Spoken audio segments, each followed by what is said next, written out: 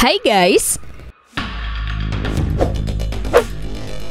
Jika melihat fosil dinosaurus yang ditemukan saat ini, kebanyakan mempunyai bentuk yang umumnya berukuran raksasa. Begitu pula dengan nenek moyang dari lima hewan berikut ini. Mereka juga memiliki ukuran yang tak bisa dikatakan biasa saja. Nah, kira-kira bagaimana ya wujud dari nenek moyang hewan-hewan ini? Yuk simak videonya berikut ini.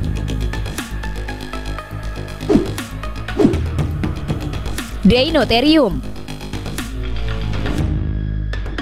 Ia adalah nenek moyang gajah sebelum mamut yang saat ini kita tahu sebagai nenek moyang gajah. Fosilnya ditemukan di Jerman pada tahun 1836. Deinotherium berbentuk hampir sama dengan gajah modern saat ini. Penemuan fosil Deinotherium menimbulkan perdebatan di kalangan ilmuwan mengenai manakah yang sebenarnya nenek moyang dari gajah, Deinotherium atau mamut. Smilodon. Nenek moyang dari kucing besar.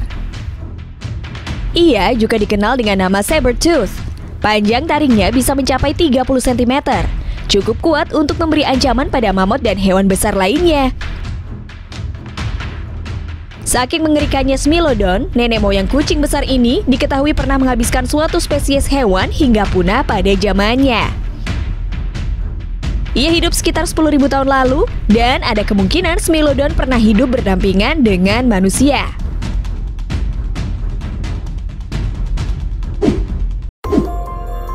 Titanoboa Hewan ini adalah nenek moyang dari ular. Ia mempunyai panjang 13 meter Titanoboa diperkirakan ilmuwan hidup pada 60 juta tahun yang lalu.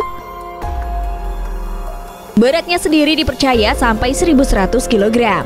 Jika ular ini masih hidup, maka ia bisa melahap buaya yang ada pada saat ini dengan sekali telan saja.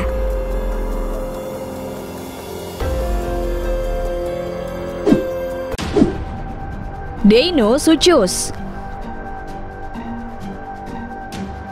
Ini adalah nenek moyang dari buaya.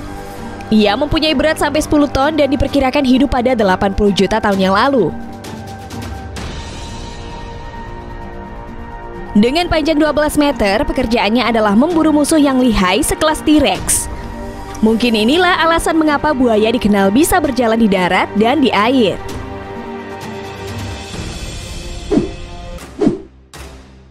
Megalodon Ia adalah nenek moyang dari hiu yang mempunyai panjang hampir 20 meter dan berat hingga 10 ton. Rahangnya bisa sebesar lemari pakaian dan giginya seukuran telapak tangan orang dewasa. Dengan bentuk besarnya, ia mampu memburu hewan lain sekelas keluarga paus prasejarah, Cetotherium, dan Odobenocetops.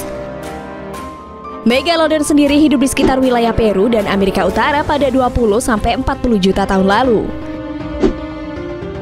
Namun, keganasan Megalodon sirna ketika zaman es menyerang.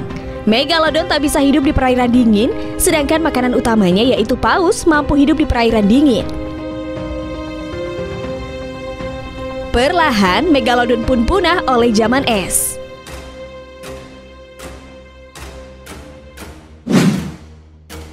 Nah guys, itulah lima nenek moyang dari hewan yang ada saat ini. Bagaimana ya guys jadinya bila hewan-hewan tersebut masih hidup sampai sekarang?